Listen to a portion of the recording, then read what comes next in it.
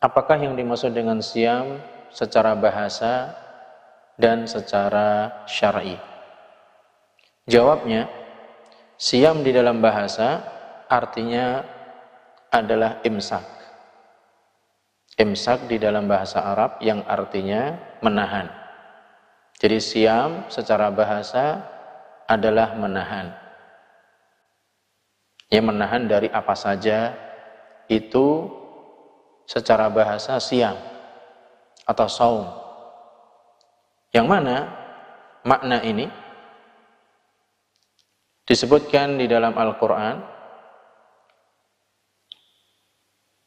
yang serupa dengan makna tersebut firman Allah Subhanahu wa taala di dalam kisah Maryam fa imma tarayinna minal bashari ahadan faquli inni nadartu lirrahmani sawma falan ukallimal yawma insiya. Apabila kamu melihat dari manusia seorang pun dari mereka maka katakanlah sesungguhnya aku telah bernadar.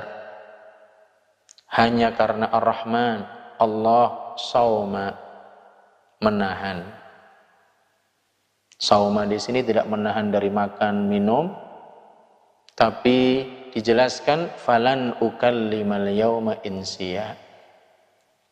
Aku tidak akan mengajak berbicara seorang pun pada hari ini.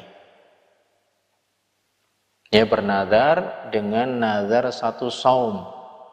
Yang dimaksud adalah imsak, menahan.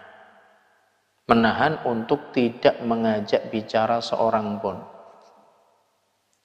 Yaitu Maryam binti Imran. Ya ibunda Isa bin Maryam. Dan di antaranya disebutkan oleh syair atau dalam satu qasidah khailun siyamun wa khailun ghairu sa'imah tahtal ajaji wa ukhra ta'likul lujuma.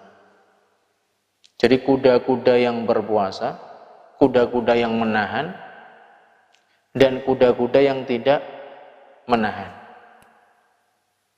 Di bawah debu-debu dan kuda yang lain yaitu ia berpegang kepada besi yang ada di ya di wajahnya. Jadi tidak bergerak. Jadi ya ada juga yang dikatakan di dalam bahasa Arab para penyair yang terdahulu menyebutkan khailun siyamun wa khailun ghairu sa'imah. Artinya kuda-kuda yang menahan, ada juga kuda yang tidak menahan.